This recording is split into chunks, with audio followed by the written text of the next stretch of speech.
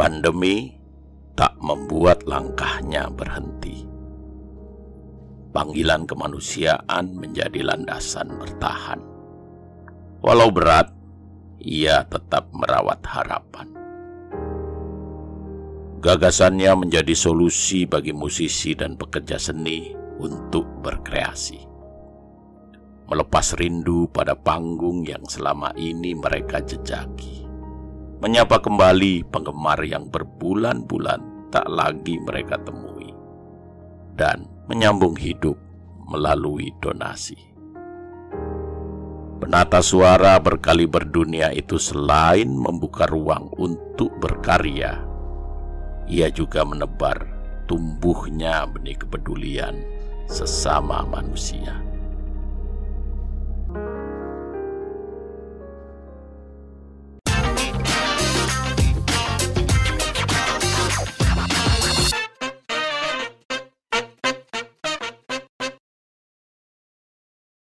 Assalamualaikum warahmatullahi wabarakatuh.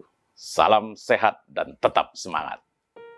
Sahabat media Indonesia, episode kali ini saya akan mengajak Anda semua untuk mencari tahu apa yang dilakukan oleh para pekerja seni, termasuk musisi, agar mampu bertahan dalam situasi pandemi. Bersama saya, ada seseorang yang membuka ruang begitu luas melalui konser live streaming. Dia adalah penggagas konser tujuh ruang, Bung Doni Hardono. Terima Oke, kasih. Terima kasih uh, sudah menerima kami di tengah kesibukan yang begitu padat. Ini kita bicara mengenai nasib para pekerja seni dan musisi yang ya kita sama-sama tahu dalam situasi saat ini mereka kehilangan kerjaan. Tidak ada lagi panggung-panggung musik. Tidak ada lagi live-live musik di kafe. Itu artinya musisi kehilangan pekerjaan, pekerja seni juga kehilangan pekerjaan, tim produksi juga kehilangan pekerjaan. Nah, sekarang ada satu alternatif yang namanya konser tujuh ruang yang digagas oleh Bung Doni dan hampir semua artis ternama di Indonesia sudah bermain di konser tujuh ruang ini. Konser tujuh ruang yang jelas uh, pekerjaan besar tanpa direncanakan. Jadi saya nggak punya ide atas tujuh ruang. Yang ada adalah mencari solusi Ketika pandemi datang, ketika itu pula lah kita mencari solusi. Saya sebetulnya di sini adalah bersahabat dengan semua musisi, semua penyanyi, dan semua tim produksi. Jadi Bung Haryanto uh, tidak hanya musisi dan penyanyi atau seniman yang kolaps ketika COVID ini datang, tapi juga pekerja produksi ada lighting system dengan krunya, ada sound system dengan krunya, ada LED dengan krunya, ada raging stage dengan krunya, ada event organizer, ada konseptor untuk WO, ada banyak sekali orang yang terlibat dan akhirnya harus semuanya menerima keadaan dalam tanda petik kolaps. Kami biasanya di bidang sound system itu bisa menerima acara paling tidak 15 event dalam satu bulan. Bisa lebih dari itu. Mungkin yang besar sekarang satu, tapi ada juga yang kecil-kecil dari gathering, dari wedding, kemudian acara corporate itu paling tidak 15 event sampai 20 ada dalam sebulan. Bayangin ketika COVID dipastikan hadir gitu melanda semuanya habis. Semuanya habis dan semuanya berhenti. Tidak hanya kami, kami satu perusahaan, tapi ada ribuan perusahaan yang setipe dengan kami. Saya membawai 77 karyawan. Semuanya berhenti, tidak ada satupun yang bekerja. rumah ini tadinya hanya ada satu studio plus tambahan di depan itu ruang uh, penyimpanan barang yang akan dipakai di dalam studio. Terus kemudian ada ruang tengah yang ada grand piano di dalamnya. Terus kemudian ada ruang kontrol yang biasanya saya mixing di sana. Terus ini adalah sebetulnya galeri saya. Saya menyimpan kaset, saya menyimpan vinyl, menyimpan laserdisc, CD ada di belakang, ada juga lemari gitar dan ada beberapa rak keyboard yang tadinya sangat tidak berfungsi. Akhirnya saya fungsikan jadi ruang-ruang, ruang-ruang, ruang, sejumlah delapan ruang. Delapan ruang yang satu untuk saya kontrol. Jadi saya sebut tujuh ruang. Karena saya sebetulnya tadinya bukan bagian dari penampil. Tujuh ini adalah batas maksimum orang boleh masuk ke sini Kenapa saya batasin? Karena kita ada uh, protokol kesehatan yang harus kita ikutin. Drum sendiri, bass, ruang bass sendiri, ruang piano sendiri, ruang gitar sendiri, ruang vokal sendiri, dan seterusnya. Kenapa harus terpisah? Karena saya menjaga protokol kesehatan.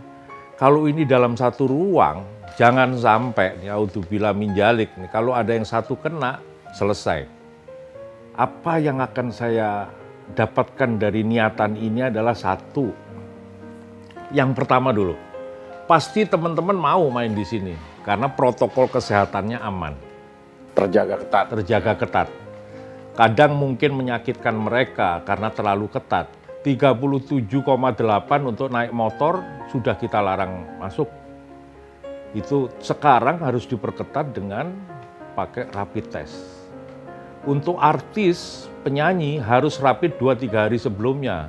Karena saya nggak mau mereka sampai sini baru dirapid dan ketahuan bukan atau setelah kita tahu mereka reaktif, kan nggak boleh tampil. Acara kita jadi cancel.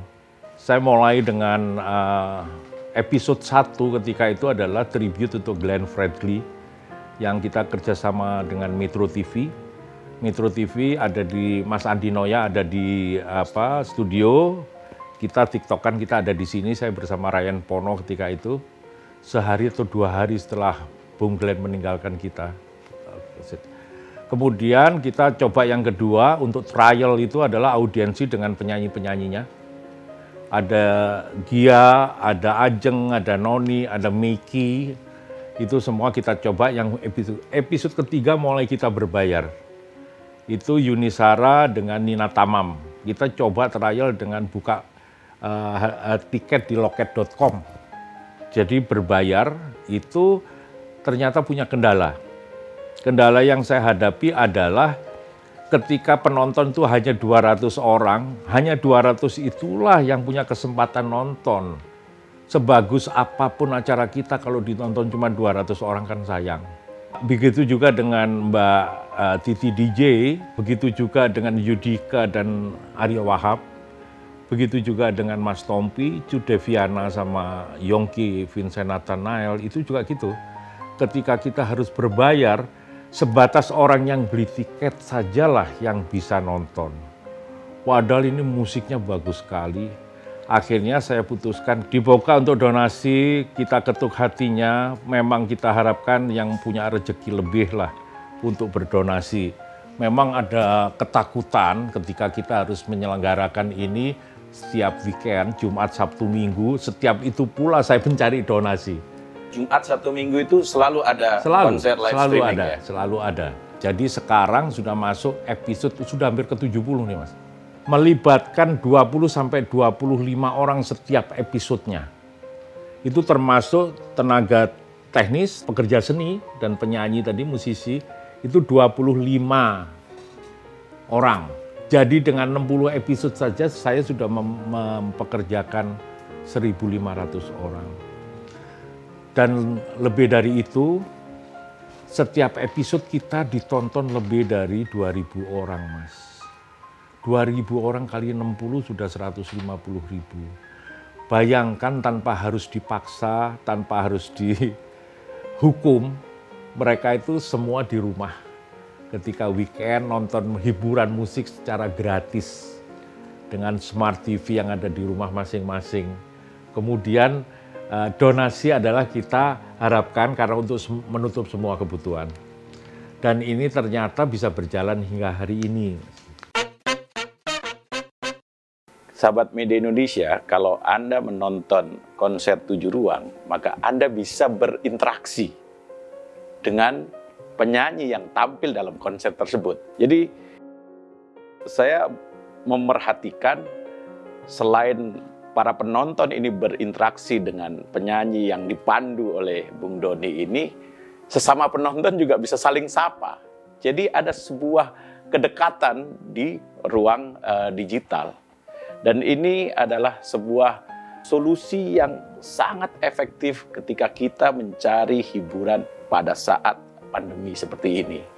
Saya juga mencatat setelah kali pertama Yunisara, terus kemudian ada Titi DJ, ada Mama Ina, Vina Panduwinata, Ruth Sahanaya, sampai God Bless.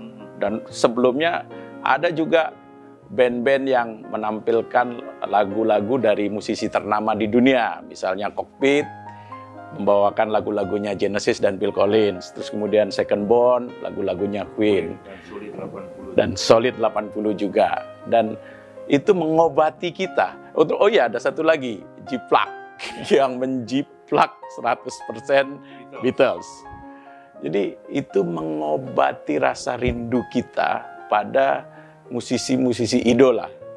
Dan yang menonton itu kan komunitas penggemar dari musisi-musisi atau dari artis-artis tersebut dari seluruh Indonesia, bahkan dari seluruh dunia.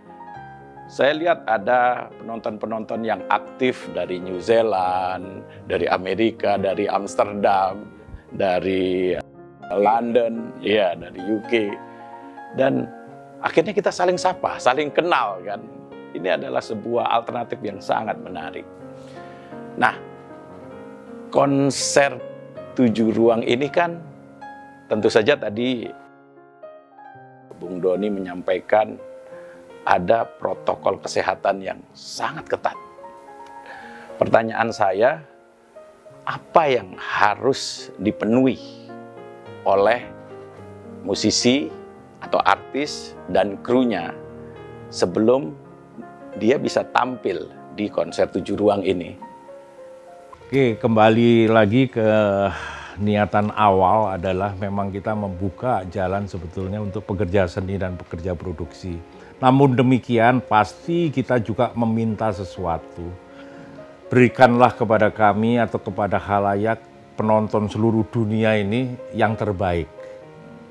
Ketika mereka uh, menyampaikan niatan mau tampil di sini, saya selalu bukan mengaudisi. Saya sudah tahu Chaplin, saya sudah tahu Cockpit, saya sudah tahu Second Born, saya sudah tahu Karimata, Vina, Harvey, Rutsana, Elva Singer, semua udah tahu. Tapi saya minta persiapkan. Karena kita tidak akan tampil dengan durasi hanya satu jam bisa dua jam, bisa tiga jam, bahkan bisa empat jam. Kemarin teman-teman Bawi Karsu SMA 3 Malang itu sampai 6 jam 15 menit. Ketika tujuh, iya 17 non-stop. Ketika 17 Agustus kita 10 jam dari siang sampai jam 10 malam.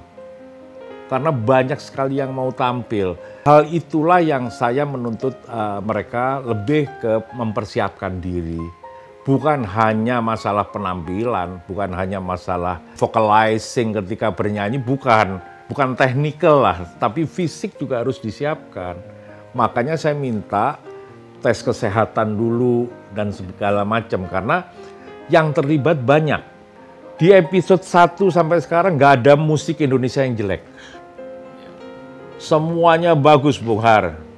Itulah kekayaan Indonesia dari diski musik ya Maaf yang selama ini tidak pernah mereka punya kesempatan tampil di TV mana pun. Bahkan kita bisa bernostalgia. Kemarin saya melihat ada Om Kus Hendratmo, ada Grace Simon, Hetikus Endang, Hetikus Endang, Victor, Victor Barat, Mas Pras, Mas yeah. Pras audiensi. Kan yeah. itu jarang sekali sekarang kita lihat mereka di televisi kan. Dan di konser tujuh ruang, kita bisa melihatnya sekaligus berkomunikasi. Kan begitu kan ya? Dan itu adalah sebuah nostalgia yang sangat luar biasa. Sebetulnya kita bisa lebih hanya, tidak hanya berkomunikasi di live chat sebetulnya. Saya udah siapkan sebetulnya uh, Zoom. Kita bahkan pernah Zoom dengan penyanyi dari Amerika ketika mereka uh, Inul baru pulang dari sana dan dia menyanyikan lagu dangdut dari Amerika kita iringin di sini. Dia menyanyi dari Amerika. Amerika. Yang mengiringin di sini. Iya, audiensi secara live. Terus kemudian kemarin juga kita sudah coba dengan uh, Ibu Deno Wahyudi, Frida Luciana, Mbak Frida itu nyanyi dari rumah. Karena Mbak Frida sedang sakit. Bu Deno kurang sehat. Terus kemudian ada penyanyi lagu satu Zakila namanya, itu nyanyi dari Amerika. Kita mengiringnya secara live di sini. Jadi ini yang akan saya sebut ini akan jadi TV masa depan. Penyanyi dari daerah, misalkan di Ponorogo, di Banyuwangi atau di Samarinda nggak perlu datang ke Jakarta. Mereka bisa nyanyi di rumah, kita iringi secara live di sini dan kita broadcast secara live dan Zoom yang kita pakai itu bisa live stream juga, Mas. Jadi penonton seluruh dunia juga bisa lihat, bayangin aja kalau sekarang kita, anak kita ada di Belanda, kita di Jakarta, bisa ngobrol di Zoom. Tapi live streaming, ditonton dengan keluarga mereka yang ada di belahan dunia lainnya. Ini kan luar biasa. Akhirnya banyak sekali yang orang nggak jerah untuk berdonasi terketuk hati mereka, berapapun kita terima. Dan ini sangat-sangat luar biasa bermanfaat. Gitu. Selesai acara kami langsung bagi. Langsung bagi kepada yang berhak. Ada berapa orang pekerja seni, ada berapa orang pekerja produksi, ada beberapa penyanyi yang terlibat. Akhirnya juga seperti kita lihat mereka berlomba untuk terbaik diberikan kepada penonton. Kalau TV swasta ini nggak apa-apa saya sebut saja, mereka hire penyanyi, kamu nyanyi ya tiga lagu, honornya sekian. Nggak ada syarat apa-apa. Kalau ini nggak tiga lagu mas, 20 lagu. Harus nyanyi di sini dengan punya punya apa ya, punya anulah, punya punya keyakinan gitu. Dengan keyakinan aku nyanyi pasti bagus, penonton masih senang dan harus juga bagus agar yang berdonasi itu tidak kecewa. Mbak Ute, Ruth Sahanaya itu bisa mengumpulkan donasi di atas 180 juta kalau nggak salah. Sekali tampil ya? Sekali tampil. Mbak Vina, kemudian kokpit, kokpit itu tiga kali tampil yang pertama kalau nggak salah 79 juta, yang kedua ini 150, saya nggak ingat karena ada bagiannya sendiri. Saya nggak ingat angka itu. Yang terakhir kema kemarin 100 berapa gitu, itu yang ketiga. Beberapa fansnya sama loh yang nonton. Dan ini orang Malang ketika kokpit main, nggak ada yang tidur. Semua nonton. Dari jam 8 sampai setengah satu, empat setengah jam. Itu penonton stay, Bung Har jadi sahabat media Indonesia, Cockpit ini adalah satu grup band yang membawakan lagu-lagunya Genesis dan Phil Collins. Jadi kalau Anda rindu dengan konser-konser dari Phil Collins atau Genesis, Cockpit lah solusi untuk melihat itu. Dan itu ada di konser tujuh ruang. Konsep donasi ini kan dibuka kepada publik kan. Jadi siapa pun yang berdonasi akan tercantum namanya kan di sana dan setiap saat Bung Doni ini mengumumkan perolehan donasinya berapa. Tadi juga sudah disampaikan bahwa begitu donasi sudah terkumpul langsung saat itu juga dibagi kepada orang-orang yang, yang berhak berhak menerimanya. Kalau boleh tahu nih Bung Doni, sistem pembagian donasinya seperti apa ya? Kalau sistemnya setelah terakumulasi jumlahnya, nominalnya, saya akan bagi sesuai persentase. Persentasenya saya nggak akan sebutkan karena beda-beda. Ada penyanyi yang empat orang, ada penyanyi yang jumlahnya 10 orang, ada penyanyi grup vokal yang tadi saya sebutkan empat orang, ada penyanyi yang masing-masing bukan grup vokal tapi berjumlah lima, gitu kan? Terus ada juga yang rombongan Amboina Sensation yang terlibat 30 orang. Ada lagi rombongan Indonesia kita IKI yang terlibat dari pagi sampai malam 60 orang. Tentunya ada kebijakan beda dari kami. Yang jelas untuk kami Eh, episode 1 sampai ke 20, 18 atau 20, total kita merugi. Memang kita tadinya sebetulnya bukan bisnis sama sekali bukan.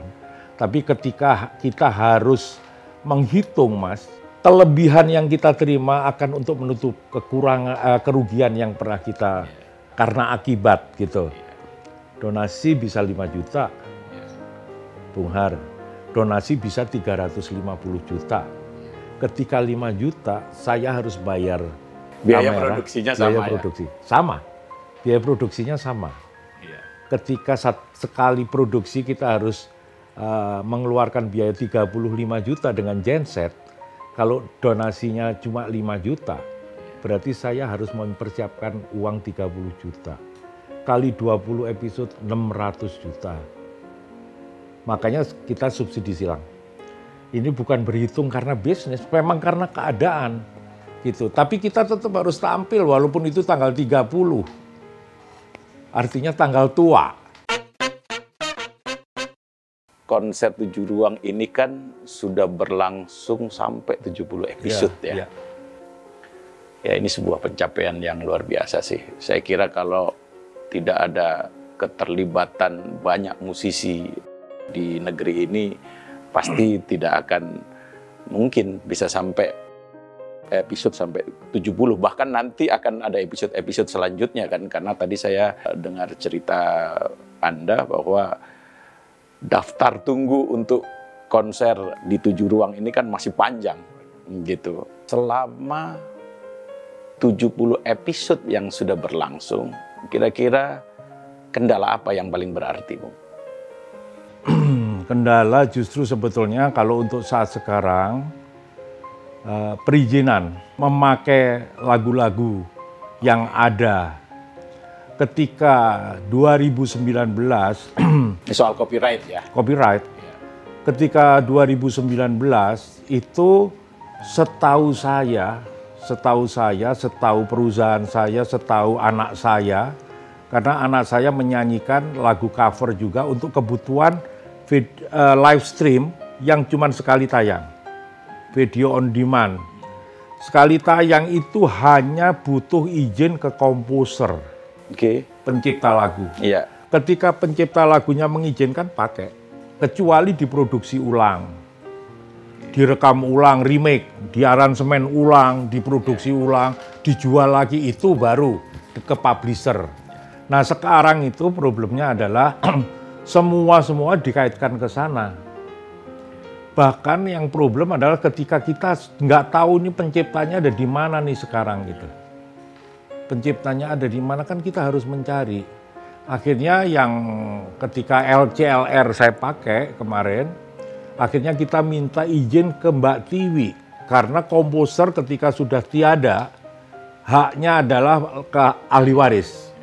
Jadi kemarin kita untuk lagunya Mas Yoki minta ke Mbak Tiwi sebagai istrinya. Lagunya Mas Eros kita minta izin ke Mas Eros. Lagunya Debbie Nasution, Mas Debbie almarhum kita minta izin ke istrinya. Terus dan lagunya James F. Sunda yang lilin kecil juga kita minta izin ke Mas James, ada di Amerika. Yang lain nggak ketahuan rimbanya di mana nih komposer. Bukan kita nggak mau bayar atau nggak mau izin gitu ya Kan sebetulnya kita nggak harus bayar. Setelah uh, live stream hari itu selesai kita take down, kalau kita stay, baru itu urusannya adalah copyright claim yang dilakukan oleh publisher. Kalau lagu itu ada sudah dipublish, ada publishingnya ke YouTube. YouTube lah yang membayar mereka, bukan ke kami. Bayarnya ke publisher sama agregator. Jadi bukan ke kami, bukan ke penyanyi, bukan ke pem, prasarana konser tujuh ruang, bukan. Bukan ke eksekutif produser, ke saya, bukan. YouTube itu membayar monetasinya ke yang ngeklaim. Apabila lagu-lagu itu sudah di license kerjasama dengan YouTube.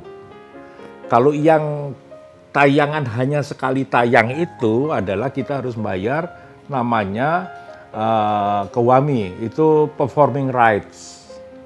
Sebetulnya itu dikenakan sebesar 2% biaya kalau jual tiket. Kalau sistem donasi? Kan kita nggak jual tiket, gedungnya pun nggak ada, tiketnya nggak ada. Kita donasi, akhirnya ditentukan 2% dari biaya produksi. Kalau biaya produksinya 100 juta ya berarti 2 juta. Kalau produksinya 30 juta ya berarti 600 ribu. Ada nggak ada donasi bayar segitu? Beres. Terus kemudian tinggal kita kulon sama komposer, izin lagunya dipakai Mas Eros mengizinkan, James Sunda mengizinkan, Mbak Tiwi mengizinkan, Mas Debi diizinkan oleh istrinya. Jalan gitu. Jalan udah nggak ada urusan. Kalau itu stay, misalkan publishingnya lagu-lagunya Mas Yogi akan ngeklaim, klaim ke YouTube. Monetasinya nggak ke kita, monetasinya langsung ke publishernya. Gitu loh. Tapi niatan baik kita dan gagasan saya ke depan, komposer akan saya kasih persentase dari donasi. Dan kemarin sudah saya lakukan. Ketika LCLR. LCRR. Oh itu komposer sudah mendapat bagian? Yang ada, yang kita ketemu dan ada yang menerima, ada yang tidak. Gitu. Kalau yang menerima akan bilang Alhamdulillah, itu dapat rezeki. Ada yang nggak usah mas, nggak usah. Wong cuma dinyanyikan sekali, ada yang begitu. Jadi ya memang saat ini kan orang semakin peduli pada hak cipta, termasuk pencipta lagu, ya. Termasuk penyanyi, termasuk publisher, komposer dan sebagainya. Dan saya kira ya memang kita harus uh, memberikan penghormatan untuk itu kan dan konser tujuh ruang sudah melakukan itu. Kemarin Ruth Sahanaya nyanyikan lagu Glenn Fredly sebanyak 14 lagu ketika kita prepare karena acaranya adalah untuk Bubung Glenn. Covernya aja Ruth sama Glenn. Maksudnya Ruth di sini membalas budi baik almarhum ketika Ruth dulu dibikinkan konser di Balai Sarbini kalau nggak salah. Yang bikin almarhum Glenn untuk Ruth. Kemarin dibalas sama Ruth untuk bikinin ke Bung Glenn. Ternyata publishernya minta harus ada kompensasi yang tadi dibilang sinkronisasi. Dan diizinkan akhirnya hanya 10 lagu. Gitu. Dari dari sekian lagu yang kita sudah latihan itu dengan audiensi. Akhirnya 10 lagu oke okay lah kalau gitu 10 lagu, sisanya lagu kita ganti dengan lagu-lagu lain yang juga dulu hits. Masalahnya sekarang di sini semua penampil taruhlah Rita Effendi pasti kan selama jalan kekasih. Kalau gak dinyanyiin penontonnya nanya. Iya. Nanti dinyanyiin yang cipta siapa? Kan bingung kita. Gitu loh, on the spot kan request. Gitu. Hedi Yunus juga begitu, diminta nyanyi lagu cantik misalkan kan akhirnya oh, nyanyiin aja aku yang bilang Mas Yofi, aku bilang gitu, wong cuman sepenggal kayak gitu-gitu kan. Ini kan sering terjadi di sini. Tapi bagaimanapun juga ya Rafika Duri harus diizinkan dong nyanyi lagu Citra. Udah puluhan tahun dia nyanyiin. Dari roreri rari, dari masa nyanyi di sini harus izin dulu kan. Sebetulnya begitu, Mas.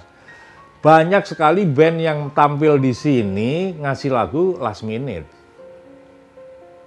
etika kita sudah kita jalankan lagu ditulis judulnya penciptanya itu kan penghargaan sebetulnya gitu loh penghargaan dan itu otentik uh, lah lagu ini lagu ini penciptanya ini judulnya ini itu udah kita jalankan cuman kan kadang-kadang uh, band-band itu datang ke sini satu jam sebelum broadcast bahkan ada yang setengah jam baru ngasih lagu jadi proses izin itu bukan dari penyanyi yang akan tampil.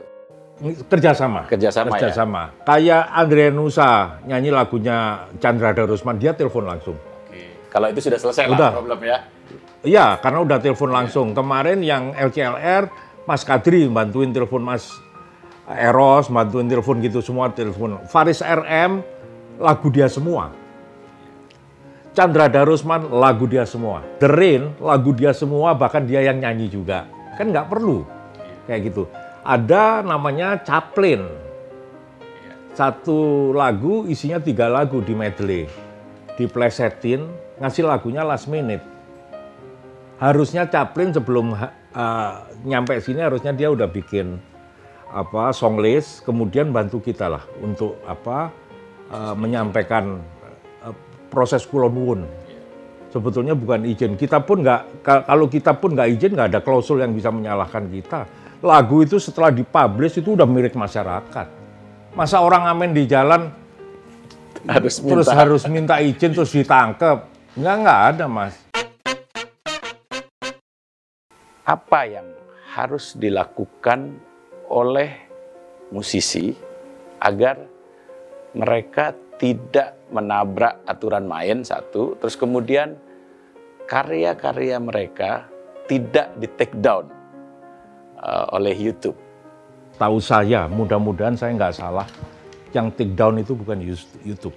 Iya, pasti ada pasti ada keterlibatan ya, uh, permintaan publisher bisa publisher, ya. bisa juga agregator. atau pemilik uh, ya. copyright itu kan. Yang sebetulnya bisa di take down itu adalah ketika lagu itu diproduksi ulang. Atau diistilahkan dengan stay. Jadi sekarang kita streaming nih. Selesai harusnya kita yang take down. Bukan YouTube bukan publisher bukan agregator. Jadi penyelenggara konser kita itu ya. misalkan audiensi nyanyiin lagu orang nih lagu orang, orang Indonesia bukan orang luar nih, orang Indonesia nih penyanyi Indonesia, lagunya lagi hits. Ternyata audiensi mainnya lebih bagus misalkan. Ini kan nggak adil. Audiensi dapat ketenaran, kepopuleran tanpa harus membuat lagu. Lagu orang aja dicomot gitu dinyanyiin tanpa izin pula gitu. Tapi kalau sekali tayang, selesai kita streaming, streaming jam 8 malam nih, selesai jam 11 malam kita take down, ya nggak ada yang take down. Tapi kalau itu dibiarkan stay, gitu loh. Kalau itu dibiarkan stay, ini urusannya beda, mas. Gitu. Kalau itu sama publisher langsung diklaim, sebetulnya hanya publisher, hanya publisher bukan ya. YouTube. Iya. Karena monetasi yang dihasilkan dari lagu itu atau iklan yang terpasang di situ sama YouTube diberikan ke publisher. Ya, Bu iya, bukan kita penyelenggara, bukan band yang tadi membawakan lagu itu gitu. Bahkan ada pro, produk uh, atau ada lagu yang di take down di saat yang bersamaan. Selesai langsung take down nih, bukan dari kita, dari uh, dari publisher. Karena sebetulnya karena terbaca sama algoritma, Mas nada dasarnya sama, sama. aransemennya sama, cara bernyanyinya sama. Ya, itu. Wah ini pasti lagunya Imagine-nya Beatles nih. Ya boleh saya sebut satu nama ya? Boleh, ya? boleh. Jiplak itu kan band yang spesialis ya. menjiplak 100% ya. lagu-lagu dari uh, Beatles. Dan mereka menampilkannya dengan style yang sama. Ya. Dan belum lama ini kan mereka juga tampil di konser Tujuh Ruang Lalu apa yang terjadi dengan Jiplak ini? Di take down, di, oh, take, di down, down dari publishingnya ya. Take down secara otomatis itu ya? Iya, otomatis. Karena dibaca oleh alg algoritma Algoritma, tadi. Iya, ya? dibaca. Sekarang saya ngupload anak saya main drum, musiknya itu Dream Theater. Di take down sama publishingnya. Karena itu bukan anak saya yang main, yang main Dream Theater. Anak saya ngikutin, tapi musiknya yang kenceng, keyboardnya, melodi lagunya, stringnya, semuanya bunyinya drumnya Mike Portnoy ditutupi nama anak saya gitu loh. Hmm. Tapi tetap di take down, nggak diizinin. Akhirnya saya akalin. Drum anak saya saya kencengin. Gitu. Yeah, yeah, yeah. Saya akhirnya nggak di take down. Gitu. Drumnya yang dikencengin jadi beda gitu. Terus soundnya nggak clear-clear amat gitu. Itu akhirnya nggak di take down gitu. Masih ada sampai hari ini. Tapi kan begini Bung Doni, kan pasti ada lagu-lagu yang kita tidak tahu nih. siapa pemilik hak ciptanya, siapa ahli warisnya juga kan, terutama untuk lagu-lagu di masa lalu kan. Nah, bayangan saya ketika menampilkan legend-legend Indonesia seperti kemarin Mas Gus Hendratmo, terus kemudian Hetikus Endang, Victor Huta Barat, lalu ada Mas Pras.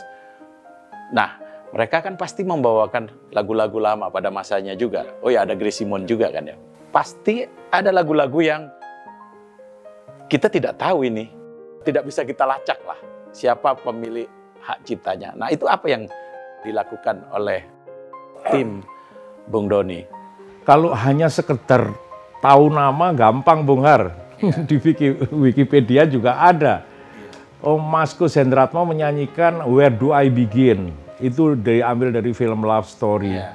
Diciptakan tuh tahun 70. Andy Williams ya? Andy Williams, 50 tahun lalu. Penciptanya ada dua, saya nggak hafal namanya. Satu membuat lirik, satu membuat melodi. Itu untuk film sebetulnya Love Story. Orang Prancis kalau nggak salah nyiptain. Gimana kita nyarinya? Ketika kita make lagunya Genesis, dari Wami nyampaikan ke saya bahwa publishingnya mereka. Oke, jadi lagu-lagu yang dinyanyikan oleh band-band cover misalnya Genesis, Queen itu juga uh, ada nah, sek ya? sekarang problemnya kan nggak di nggak di-upload, nggak di-expose dengan mereka. Kecuali kita nyari gampang nih. Lagu Genesis publishernya ini, lagu Queen ini publishernya ini, lagunya Krise Musika misalkan Terus nih, jadi kita kalau mau bawain kan gampang nih. Betul. Oh mau bawain lagu ini harus telepon ke sana. Ini kan nggak tahu mas kita. Ketika aku dikasih tahu bahwa Genesis itu mesti ke Wami gitu, saya balik bertanya ke Wami, tahu nggak yang love story harus izin ke mana? Nggak tahu. Gitu, masih ada loh selain love story, masih banyak. Ada lagunya uh, Cesara, Jose Feliciano. Mau ke mana coba izinnya? Itu tak nyanyikan nama Victor tahun 84 mas. Gitu. Terus kemudian masih ada lagunya Mas Kus lagi namanya uh, banyak mas. Aku sampai bingung kita itu nyarinya. Tapi ya mau nggak mau kita bawain gitu loh. Karena kita butuh suasana evergreen itu. The Who nggak boleh mas di cover. The Who McVicar nggak boleh itu di cover gitu tapi ada yang di cover diem aja juga nggak apa-apa. Gino Vanelli ada komunitasnya. Yang ngirim cover lagu Brother to Brother lebih dari 50 kali. Dan di komunitas Gino Vanelli, berarti kan nggak apa-apa di cover. Gitu loh. Semua orang beda. Inilah yang disebut tadi sinkronisasi. Lebih ke, maaf kata-kata gampangnya mungkin tawar-menawar kali. Gitu loh. Ada yang ngasih harga, ada yang silahkan, ada yang murah, ada yang mahal gitu. Ada yang ngasih harga sekian untuk pemakaian setahun gitu. Padahal kita cuma sekali pakai, harusnya nggak perlu. Nggak perlu gitu. Kecuali kita tahu komposernya kita nggak minta izin, tahu keluarganya kita nggak minta izin. Itu nggak, untuk di Indonesia nggak boleh seperti itu gitu loh. Tapi ada juga sekarang komposer yang beda gitu. Sekarang expose pakai lagu saya untuk di cover. Ada mas, gitu. An anu, anti mainstream. Ya, anti mainstream. ya, memang ya lagi-lagi ketika kita bicara hak cipta, ya kan hak cipta itu penghargaan ya kepada ya. orang yang memiliki effort begitu besar menghasilkan sebuah karya. Maka kita harus menghormati itu kan, gitu kan. Dan itu sudah dilakukan oleh manajemen konser tujuh ruang kan. Baik, sahabat media Indonesia, mudah-mudahan apa yang disampaikan oleh Bung Doni Hardono ini membuka pengetahuan kita mengenai hak cipta, mengenai cara kita apa yang harus kita tempuh ketika nanti kita melakukan konser-konser live streaming atau ketika kita menyanyikan lagu orang yang kita tayangkan di media sosial. Begitu kira-kira ya Bung Doni ya. Oke, selain itu ada lagi kendala yang berarti. Nggak ada, nggak ada. Aku rasa nggak ada kendala lain kecuali itu hanya mungkin sedikit masalah beban moral di justru di musisinya. Musisi dan penyanyinya itu sekarang agak beban main di sini, takut masalah donasi. Tidak, Tidak. sesuai target. tidak sesuai yang di nggak tercapai lah gitu ya. Karena bukan untuk mereka juga mereka nggak enak juga sama yang lain. Karena kan donasi itu untuk pekerja seni dan pekerja produksi. Pekerja seni ini sendiri ya ada musisi, ada pencipta apa, ada uh, vok- penyanyi. Pekerja produksi ada sound system, lighting, anak lighting, anak video, ada anak genset, ada orang kru, ada itu banyak sekali yang kerja. Semua itu dapat dari uang itu gitu. Jadi sekarang kalau mereka mau tampil, wah ini donasi ini mesti akeh gini, nek gak, gak cukup kayak gitu. Mereka udah tahu kos produksi kita berapa. Walaupun kita selalu meng- mengikhlaskan hal itu untuk kepentingan teman-teman. Jadi bisa dibayangkan memang para artis atau penyanyi yang tampil di konser tujuh ruang itu pasti memiliki tanggung jawab Iya. besar karena dia harus berupaya sedemikian rupa agar Iya. donasi yang masuk itu besar. Ya, agar bisa menutup, harapan. bisa menutup kos untuk kalau mereka maaf main di wedding ataupun di cafe ataupun di corporate eh, acara kantor nggak ada beban karena mereka datang orang dibayar sama perusahaan, dibayar sama yang nikah atau bapaknya yang nikah, dibayar kan gitu. Kalau di sini kan mereka datang dengan tanggung jawab kedua ke ke semua orang gitu saya harus dapat donasi agar bisa menutup kos produksi, agar bisa membayarin pemain musik, agar bisa membayarin anak-anak tim produksi kan gitu. Justru aku terima kasih ke semua musisi dan penyanyi atas kebersamaan ini yang luar biasa dan mereka semua ternyata harta karun yang tak terhingga, Mas. Luar biasa. Spirit kebersamaan dari Wah. penyanyi-penyanyi di Indonesia sebenarnya cukup tinggi. cukup tinggi, nggak ada persaingan.